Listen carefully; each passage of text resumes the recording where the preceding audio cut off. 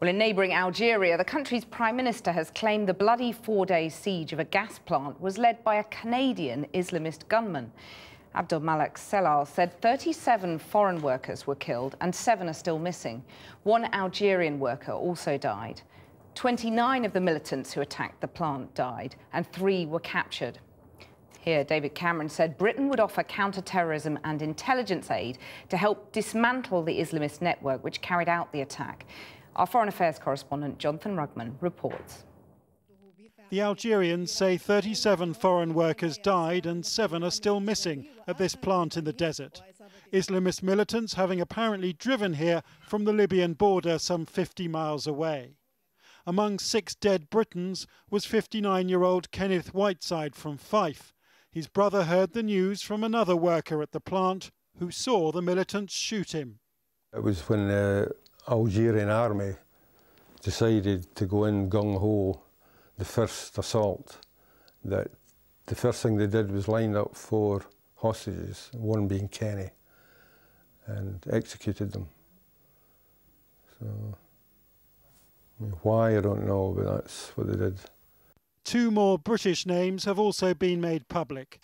46 year old Paul Morgan, a former British and French Foreign Legion soldier, he reportedly died defending workers leaving on a bus and 49 year old Gary Barlow. His family said he had loved life and lived it to the full, and that they were totally devastated. The Prime Minister talked of British intelligence forming part of an international effort, but there was no suggestion of British soldiers you, countering Speaker, the growing North African Speaker, threat. Like As it escalates, it is also becoming a magnet for jihadists from other countries who share this poisonous ideology. Indeed, there are already reports of non Algerian nationals involved in this attack. We must tackle this poisonous thinking at home and abroad and resist the ideologue's attempt to divide the world into a clash of civilizations. There's no known British link with the men who wielded these weapons, but the Algerians say documents belonging to two Canadian citizens were found among the jihadists' clothing. The Algerians say most of the men were from six North African countries, but that a Canadian citizen helped coordinate the attack. The group used to communicate with a website in Mauritania. The man who spoke to them was named Shaddad, and he is a Canadian national. He was talking in English, and his words were clear. But the Algerians say the commander of the attack was Al Taher Abu Aisha, an Algerian they say they killed when the plant was stormed. His boss is believed to be Mokhtar Belmokhtar, and this Algerian has appeared in a new video claiming the operation was in revenge for French strikes in Mali and the hunt is now on for another Algerian jihadist, Abdul Hamid Abu Zaid. This video of him is dated on Christmas Day. The Algerian press claims that Abu Zaid, filmed here in Mali, used his relatives to get jobs as drivers at the Algerian plant. Abu Zaid has also admitted that he holds French hostages and it's believed he ordered the killing of Edwin Dyer, a British hostage who was seized during a holiday to Mali in 2009. An American embassy cable from that year, released by WikiLeaks, reveals the impact of Dyer's execution on British thinking. A British diplomat is quoted as saying that a UK budget crunch has meant a reduced UK presence and less UK programming in West Africa but that Dyer's death had been a game changer, refocusing UK attention on the security issues in the region.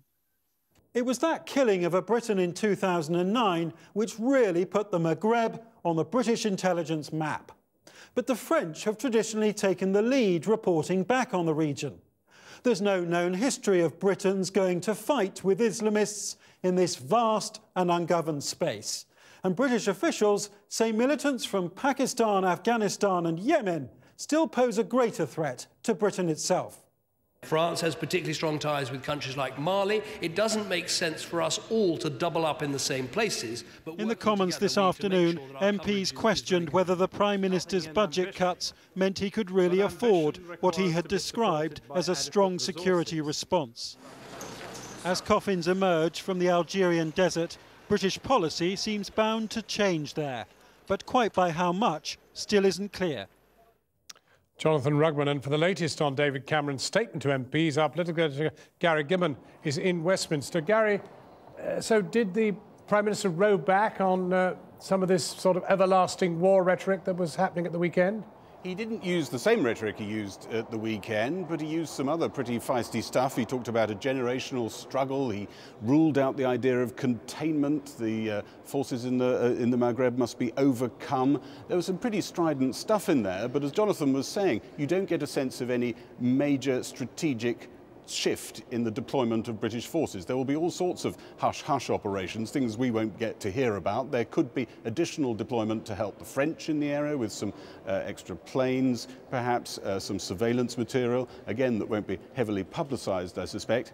But in terms of the actual troops that we might send there, at the moment the plan is to send something in the region of tens of troops to help out perhaps with an EU training mission uh, to other militaries in the area so they can contain the jihadist threat. Nothing beyond that. And I think there is a slight mismatch. People came out of the chamber scratching their heads a little bit between the rhetoric, perhaps, that David Cameron is still using, even if it is a little bit reined in from the stuff at the weekend, uh, and the reality of what will change on the ground. Gary Gibbon at Westminster.